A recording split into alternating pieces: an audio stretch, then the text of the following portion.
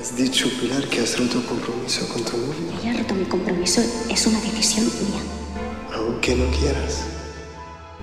Tu camino es también el mío.